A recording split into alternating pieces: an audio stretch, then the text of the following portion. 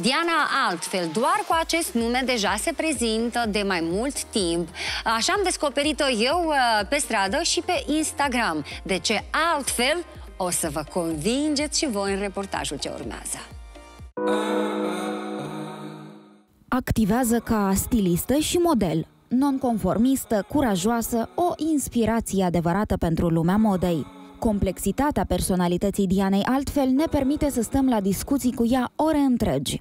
Am încercat totuși să o luăm de la capăt și să culegem cele mai prețioase informații. Dacă ar fi să-mi definesc stilul, este o tehnică în modă care se cheamă patchwork. Deci confecționarea unui articol din diferite bucăți de stofă care au diferite culori, imprimeuri și texturi. Nu ține cont de toate cărțile de modă, dar pasiunea ei este să aleagă piesele vestimentare vintage, clasice sau sport și să le combine cum poate doar ea mai bine. Fata cu furculița în păr pentru că la un defileu la noi în Moldova nu aveam cu ce să-mi prind părul. Încă căutam gen un stick din asta ca japonez și nu găseam nimic de genul și am zis că mai mă duc eu să iau furculița și să ne pun acolo. Și mi-am prins furculița, arăta foarte fain și de acolo oamenii au început să-mi spună fata cu furculița în păr. Și eu zic, da, să scriu la descriere, de ce nu?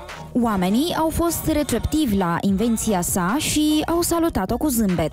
Nu înțelegeau ce am în cap, gândeau că am un accesoriu anumit și când descopereau că e o furculiță, ziceau, wow, tai furculiță, era reacție deodată, furculița, gata.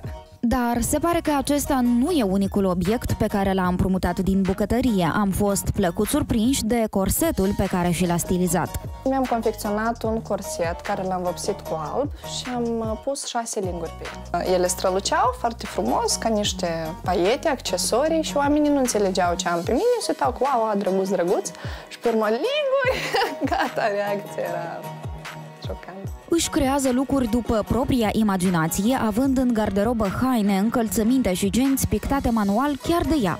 Iar locurile preferate pentru a face shopping sunt piețele second-hand. Atunci când călătoresc, este un must pentru mine să vizitez second-hand-urile și vintage shop-urile din lume în orice oraș, țară. Este o tradiție deja. Cel mai mult am fost impresionată de second hand-urile din Canada. Am venit cu o valiză de 90 de kilograme și cu un, uh, o lădiță plină cu peste 50 de perechi de cercei. E un izvor nesecat de inspirație, având și o metodă inedită de a-și vizualiza viitoarele creații și idei.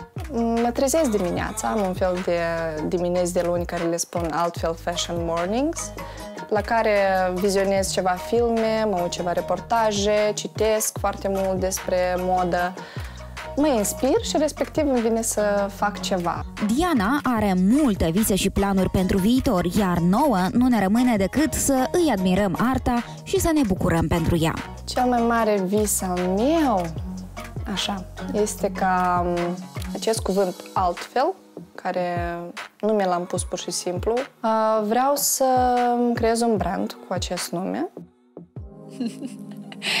E atât de nebună și atunci când am văzut-o eu pentru, pentru prima dată, era în curtea la, la hardcore, deci nu puteai să intri acolo și să nu o observi, pentru că uh, părul ei roșcat, dar și stilistica pe care o abordase, era îmbrăcată în verde, în galben, în alb, în toate.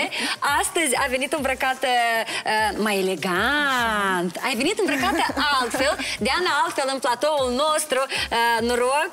Și aș mi bucur foarte mult să te, să te cunosc și în realitate, dincolo de Instagram, pe Instagram te urmăresc, apropo, uh, dar, uh, dar nu știam că ești tu. Știi? Atunci când te-am văzut și am discutat cu prietenii mei despre, măi, dar cine e fata și e? Ah, păi e Diana. Zic, bun, Diana trebuie să ajungă la emisiune și uh, vreau, vreau, să, vreau să arătăm uh, această salopetă. Deci, tu ai dat pe această salopetă superbă lucrată manual cât? Um, undeva în medie la 600 de lei. 600 de lei. Ea cântărește un kilogram, este făcută din uh, biser, din ceramică și de, din cauza asta este foarte grea. Aha. Și cam asta e. Așa, la second hand, da, în București. Da, asta a fost în București. Așa, mai departe, avem uh, acest... Analiză? Da, da, să, să începem. Chiar sunt ceva diferit. Da, da. Normal. E bine cu Păi, pantofi. da. da, dar n-ai ieșit în călțată și cu pantofi diferiți. Am încercat, și... dar îmi vine greu. Mergeai ca o roță. Da, da, da. Trebuie să-mi pun din astea Tălpițe. Tălpițe, da, da, da, ca să fie la nivel, să pot umbla. Da. Așa, uh, mai departe, uh, cămașa, bluza. Bluza este de la, de la noi, de la Second, m-a costat 10 lei. Da, dar deci, e, aplicațiile, broderile astea... astea... de perioada renascentistă și cumva îmi place mult perioada aia așa. Mărgelele le-ai pus tu? Da. Ah. este un accesoriu confecționat de mine. Nu știu dacă se vede așa. Și, așa. Da, Trecem mai departe, sacoul. Sacoul este un sacou foarte vechi care l-am cumpărat de la Second de la noi. E bărbătesc? Istoria, da, e bărbătesc, e transformat, am vrut să fie parte peste parte când l-am procurat și din start am vrut să-l pictez. Și când am văzut, uh, îl vedea un domn foarte haios îmbrăcat, arăta ca un marinar, mânca un plombir Și avea tabliță cu 10 lei, așa, un, uh, un carton. Și am trecut, zic, de să mă mai uit. Pe urmă, când revin, văd 15 lei. La, la care eu zic că mie mi totul ne dau și 20 numai să mi-l vândă. El nu înțelege că eu vreau să-l cumpăr și începe să-mi povestească istoria. Că e sacoul cu care el s-a dus prima dată la întâlnire și cu soția lui. Și eu zic, dar nu vi jale să-l vindeți? Și el, nu, nu, nu. Și nu realizează că vreau să-l cumpăr. Uh-huh. Și că tu chiar vrei să-l cumperi? Zic, da, eu vă dau 20 de lei. Și eu îl iau deja că, și mă pornesc și el îmi strigă din spate.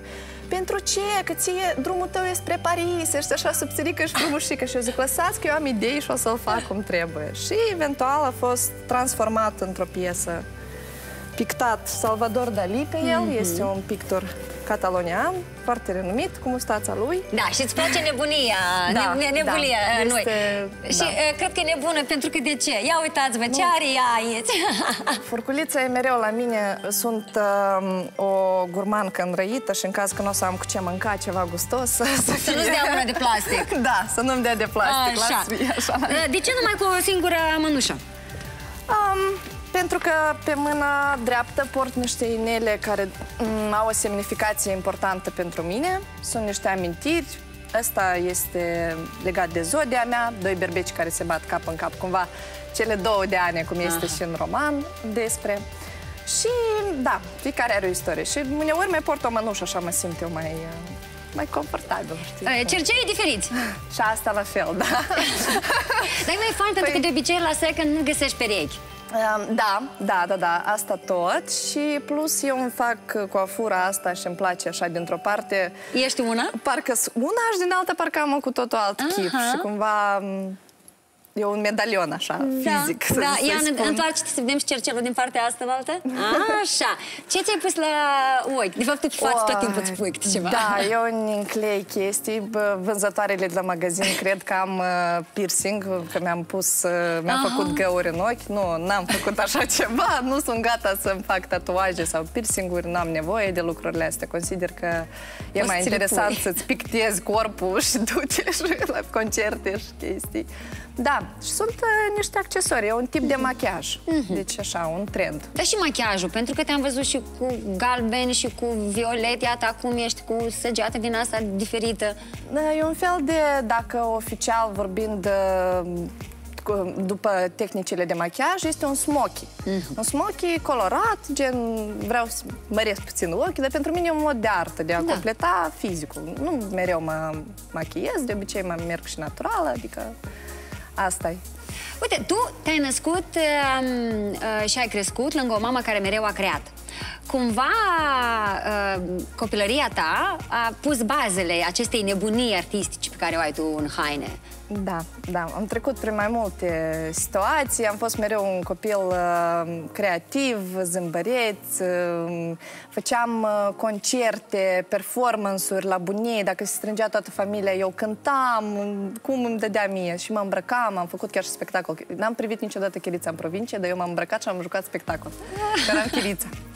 Da. Și um, crescând așa, mi-am dezvoltat uh, ciuica asta, eu mm -hmm. îi mhm. spun, pentru a vedea lucrurile frumoase, pentru a, atunci când ating stofele, să mă pricep la ele, ce îmi place, ce nu, ce e bine, ce Dar de obicei părinții nu sunt de acord cu alegerile nebunești ale copiilor și foarte mulți copii poate ar fi maturi acum, ar fi ca tine, doar că pe ei în copilărie părinții i-au inhibat, i-au zis nu spate așa și nu, nu ieși așa din casă. Mm, ideea e că au fost momente în care era frică să-mi dea drumul să ies afară. Da, pentru că sunt și domnișoară și mai, mai aveam cumva fiecare haină pe care o îmbrăcăm, uh, mai departe o porți cu atitudine, transmiți o emoție oarecare.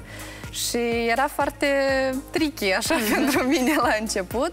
Pe urmă m-am deprins, a deprins și ea și având și acest nume altfel, care tot n-a apărut uh, din pod... Păi, dar ți l-ai ales tu? Nu chiar.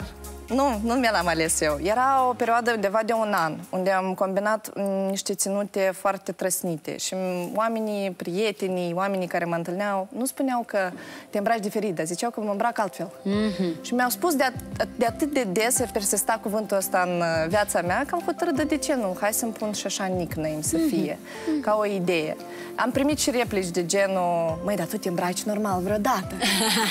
și eu așa, spuneam, Dar ce da, înseamnă dar ce e normal? asta normal? Adică ce e asta normal? Normalul ni- ni-l creăm noi singuri. Fiecare are normalul său Mhm. și ăsta este normalul meu de a fi așa.